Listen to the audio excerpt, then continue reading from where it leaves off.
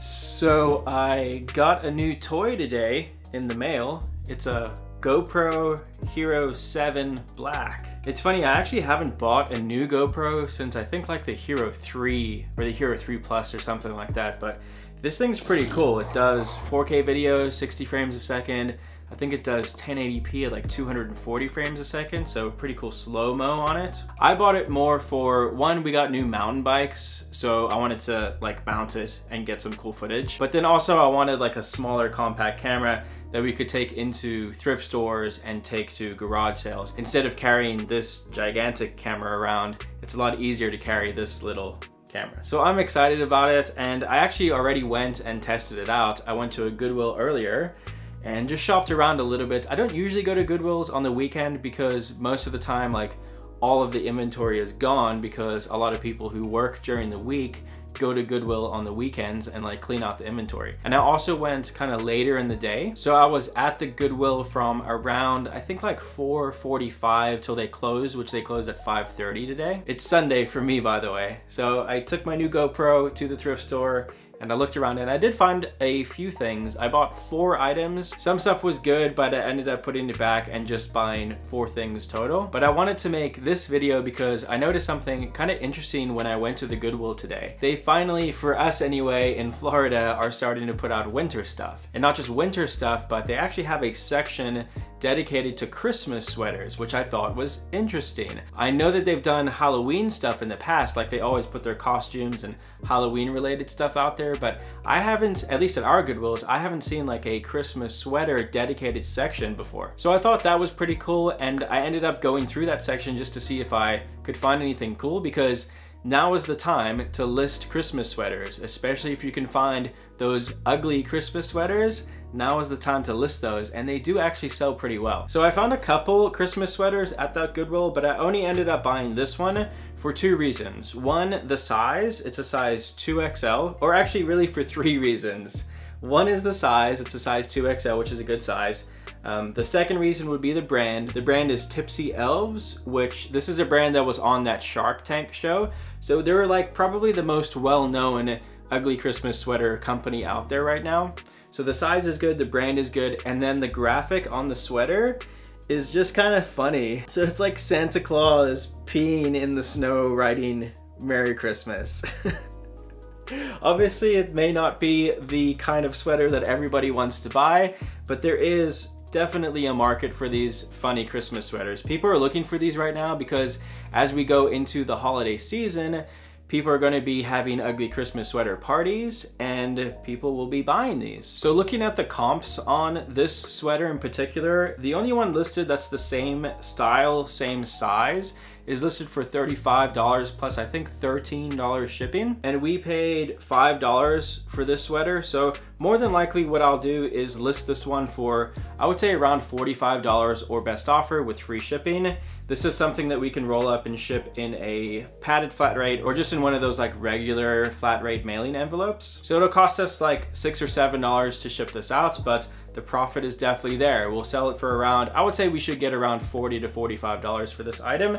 And again, we only paid five bucks for it, so Christmas sweaters, good thing to start buying. And then I also picked up the size 2XL Chase Authentics NASCAR t-shirt.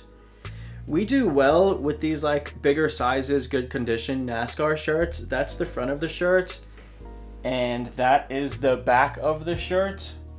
Correct me if I'm wrong, but I looked it up and I think number nine is Kasey Kahne. Not a huge NASCAR fan, but I do believe that's whose shirt it is. I ended up paying $2.98 for it. I don't think it'll be a huge seller. I just, again, picked it up because the graphics are good and it's in very, very good condition. So if we get like $18, $20 for this t-shirt, I'll be happy with that. Not a huge money maker, but sometimes you just buy what you think is good. So that's what I bought. Okay, back to winter wear. We're selling a ton of jackets and coats as expected this time of the year. You should be selling or at least listing a lot of your like winter wear. Sometimes we'll buy in bulk like jackets and stuff during the summer and then we will list them during the winter because we can get more money for them and they do sell faster for us during the winter. So this jacket is an Abercrombie and Fitch and the model number of it is Elk Lake jacket and it's a size medium. It is a very like heavy, heavy jacket And I believe it feels like, it feels like it's wool. Yeah, so this one is 52% wool. So not 100% wool, but it's still a very decent jacket and it's in good condition. These like heavier Abercrombie and Fitch jackets do sell very well for us. We actually just sold one recently that's not the exact same model. I think it was called like an Adirondack Abercrombie and Fitch jacket, but that one sold for $80. And this one, from what I can tell from the listing, should sell for around the same. We'll probably list it for around $80, $90, and we'll probably get around 80 bucks for it. And I paid $7 for this jacket. Now I know the question is gonna come up, how much is this gonna cost to ship? Because it's big and heavy. This will more than likely cost us around, depending on where it's going, it'll cost us around like 10 to $15 to ship it.